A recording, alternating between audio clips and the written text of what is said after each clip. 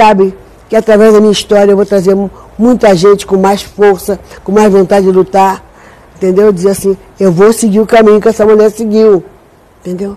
Não fosse, ai que medo, não, não tem que ter medo. Ela foi dura, danada, e chegou aí.